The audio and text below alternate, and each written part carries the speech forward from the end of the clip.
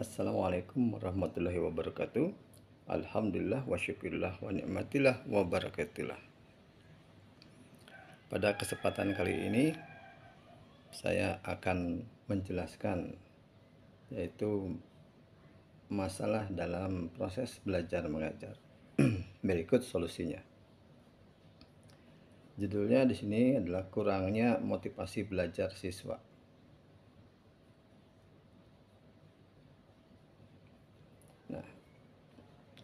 Deskripsi permasalahan. Nah, dari hasil pengamatan saya terhadap seluruh siswa di kelas nah, pada mapel pemodelan perangkat lunak atau PPL, ada enam siswa yang mau mengikuti proses pembelajaran dari awal hingga akhir jam pelajaran.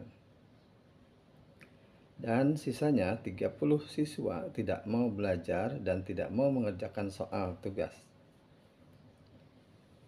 atau yang dituliskan sama saya.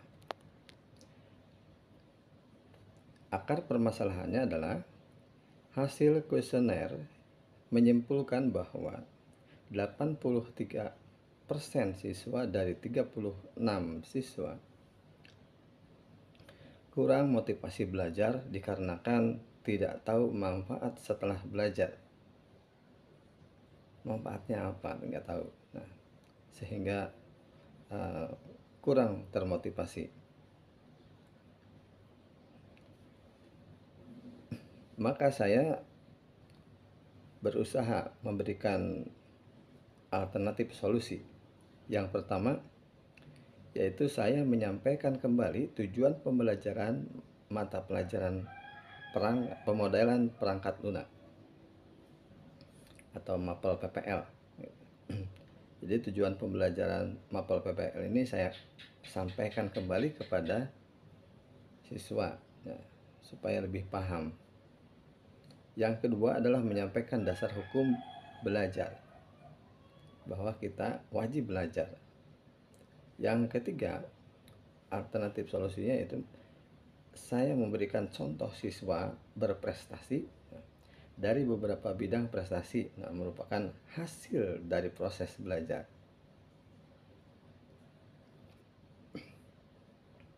Baik, ini saya menyampaikan kembali tujuan pembelajaran MAPEL PPL. Satu, siswa dapat menganalisa kebutuhan apa saja pada sistem yang akan dibuat. Tentunya sistem perangkat lunak baik membuat website, membuat aplikasi desktop ataupun aplikasi Android. Yang kedua, siswa dapat menyusun laporan kegiatan pembuatan sistem nah, berdasarkan materi pelajaran pemodelan perangkat lunak.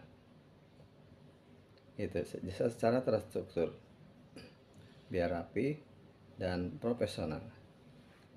Yang terakhir ketiga, siswa dapat satu pengalaman membuat sebuah sistem dari hasil pembelajaran berbasis proyek. Nah, kebetulan sekarang di akhir semester ganjil ini akan difokuskan untuk pembelajaran berbasis proyek nanti dilanjutkan ke semester genap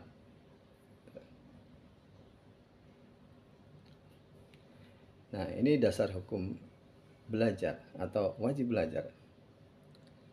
Satu, Al-Quran surat al surat Al-Alaq ayat 1. Bacalah dengan menyebut Tuhanmu yang menciptakan. Maksudnya, belajarlah oh, maaf ini tulisannya belajar kah ya? Belajarlah nah supaya bisa berprestasi supaya bisa berkarya supaya bisa ber, berinovasi dan lain-lain yang sifatnya positif dan bermanfaat.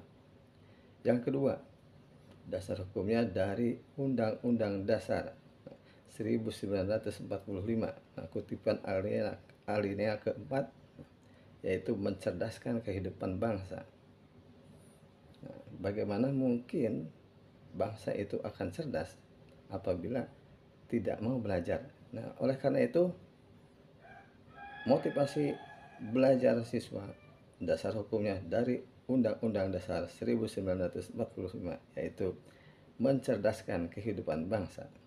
Ya, harus belajar. Gitu. Yang ketiga, Kementerian Pendidikan, Kebudayaan, dan Riset Teknologi. Nah, ini juga punya dasar yaitu kewajiban untuk belajar. Nah, kalau tidak belajar maka tidak akan bisa untuk meriset teknologi. Begitu. Salah satunya itu.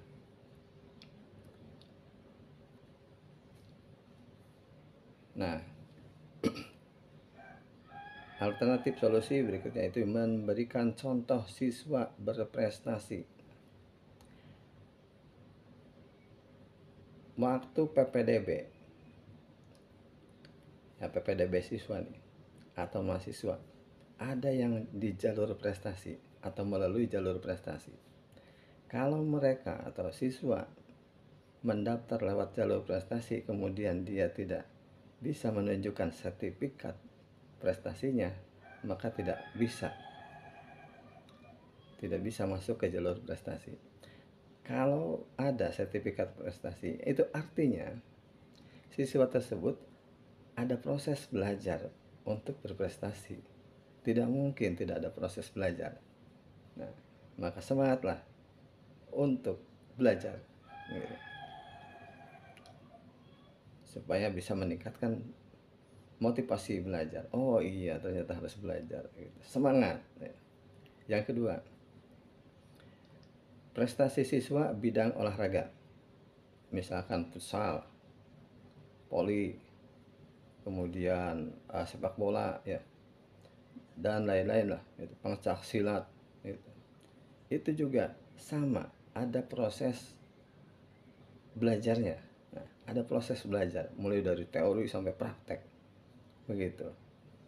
Nah kemudian uh, melalui langkah-langkah mengikuti lomba-lomba dari mulai tingkat kelas kemudian antar kelas ya. sudah antar kelas antar sekolah atau antar jurusan nah, kemudian antar uh, kota ya.